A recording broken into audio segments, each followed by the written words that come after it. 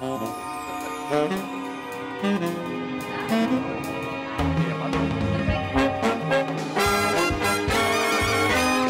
jeg skal bruge din Porsche. Undskyld, hvem er du? Theo, jeg har brug for at låne en bil. Nå, det er Melje. Pæn goddag. Ved du hvad, jeg står faktisk i et forretningsøje med sammen med to nye kollegaer, som er øh, Louise. Louise, ja, og... Øh, Signe. Ja. Så jeg har ikke rigtig tid til at stå og diskutere gamle røverhistorier med dig, så jeg må bede dig om at gå. Theo. Jeg har muligvis mistet 10 millioner. Men jeg har en adresse. Theo. Honor. Herlufs Honor.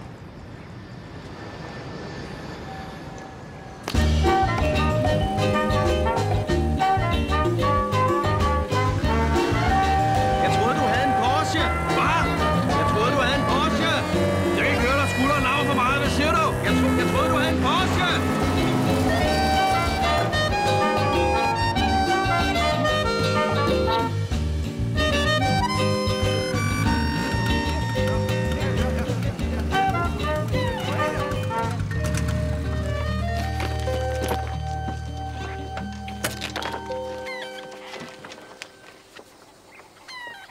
Chemin du Bolido, det er her. Det er, en, det er en villa til, øh, til, til 20 millioner.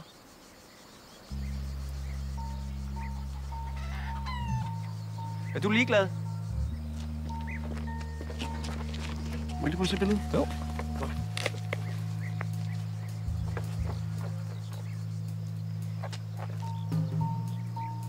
Nej.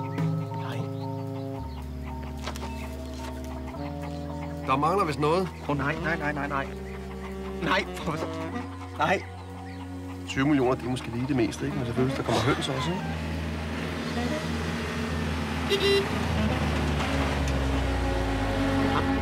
Det er ham.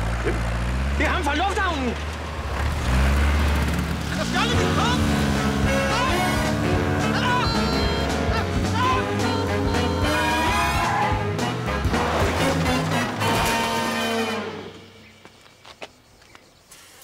De har planlagt det hele helt fra starten. Ikke at min punkt den bliver stjålet ude i lufthavnen. Marianne Lacour, hun ventede på mig på hotellet, og så voldtog hun mig. Man kan ikke voldtage en mand. Ja, hun forførte mig. Hun forførte mig, så jeg var villig til hvad som helst, og jeg var villig til at skrive under på hvad som helst. Ja, du er blevet hostel.